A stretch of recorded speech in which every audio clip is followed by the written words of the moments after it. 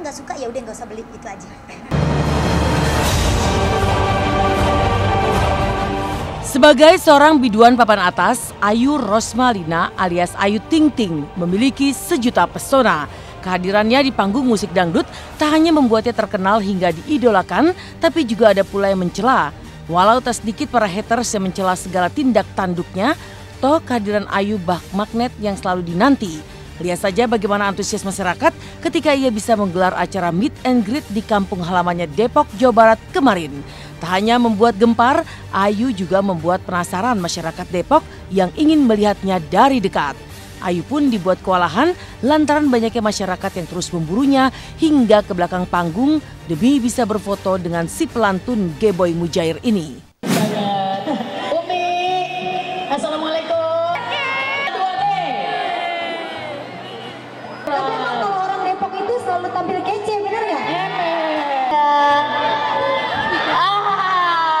Asik, asik. masih kurang keras. Saya pengen semuanya ikutan nyanyi bareng-bareng. Di saat ada maunya Baik-baik saja. setelah hilang rasanya hilang benar cintanya dan melupakannya. Rame rame banget. Uyang pak saya udah nggak bisa ngomong apa udah udah dong yang udah udah. Kasihan ayu yang capek capek capek ya. Saya mah mau fans ya? Gimana ya ya? Ya ya ya baik ya berusaha deket gitu. Karena kalau saya bukan orang yang tipe membatasi gitu antara fans dengan, dengan maksudnya antara sesama fans gitu. Jadi saya mah sama fans kalau misalnya emang benar-benar kayak acting desius gitu mereka tuh udah tahu saya banget gitu. Jadi kalau ketemu tuh udah bukan kayak yang hai hai gitu nggak kayak gitu gitu. Jadi yang eh apa kabar? Lu pada gini nih sehat? Gini gini. Jadi udah udah ngerasa ngedekat karena saya berusaha ngerangkul mereka biar kayak ya udah kayak teman-teman aja biasa Tak hanya Ayu Ting Ting yang berhasil membius warga Depok, kehadiran Bilkis Humaira Rajak, putri tunggal Ayu, juga menjadi daya tarik. Bocah berusia tiga tahun ini begitu dielu-elukan saat ikut menemani sang bunda di atas panggung. Ya, kecantikan serta kepiawaian Ayu bernyanyi sepertinya telah menurun pada gadis kecilnya ini. Lihat saja bagaimana gaya Bilkis ketika mengelap wajahnya dengan tisu yang mirip dengan gaya orang dewasa. Bilkis terlihat sudah tak takut lagi berada di atas panggung seperti juga baru-baru ini saat ia hadir di catwalk bersama Ayu di acara Indonesian Fashion Week. Lalu benarkah jika Ayu ingin Bilkis sebagai penerusnya kelak? Bisa aja suling bambu.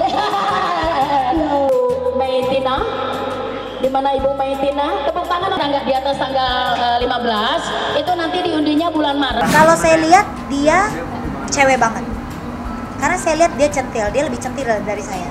Kalau saya masih ada tomboy-tomboynya tapi kalau Bilkis enggak.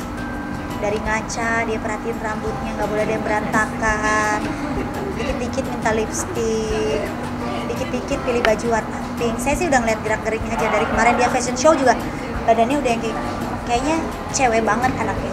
Jalan dengan pedenya dia gitu dengan gaya baletnya dia lenggak-lenggok. Terus pas selesai di belakang panggung dia ngomong gini bunda bunda ini masih ada lagi kan? Kayak bilang ternyata dia ketagihan. Jadi saya seneng banget kemarin puas deh. Kalau dia mau jadi model kalau tingginya cukup nggak apa nggak ada yang larang juga. Eh, boleh boleh aja. Saya sih kalau anak minta apa juga ya udah saya turutin. Yang penting baiklah. Sekarang temanya hidupnya lagi balet kayaknya.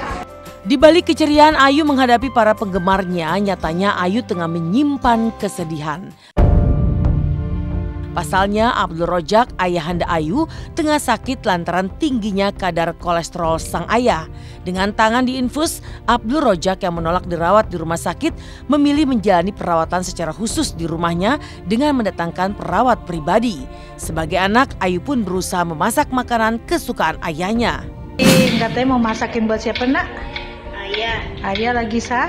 sakit Sakit apa? tumben Nak? tumbenan dia ini minta kornet Ah. orang Ayu lagi mau bikin kornet ngikut. Ikis, Ikis, Ikis masakin bun ah, buat ayah juga. Oh baik. Ayah, ayah diapain? apa dia sembuh? Aku di lu? Iya, Am- ayah sembuh ya gitu. ayah sembuh ya. Sehat ya. bikin suaranya kayak anak YouTube.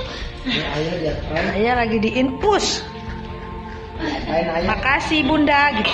Masak ke, masak bantuin bunda. Bilang apa sama bunda? Masak. Kasih kalau bunda slamnya enggak lengket.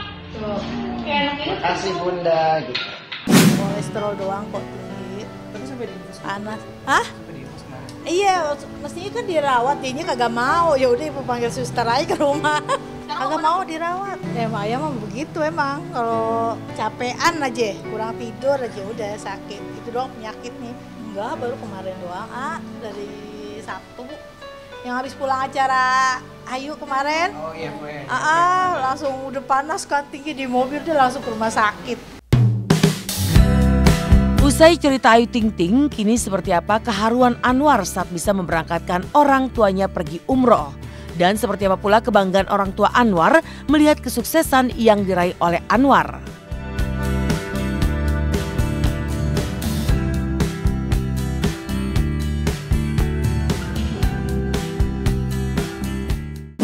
Sukses meretas karir di panggung hiburan, host dahsyat Anwar berangkatkan umroh kedua orang tua tercinta. Lantas seperti apa suasana pengajian yang digelar di kediamannya jelang keberangkatan orang tua ke Tanah Suci? Seperti apa pula Anwar ketika memberikan sambutan di depan ibu-ibu pengajian? Lalu benarkah Anwar kini menjadi kebanggaan sekaligus tulang punggung keluarga?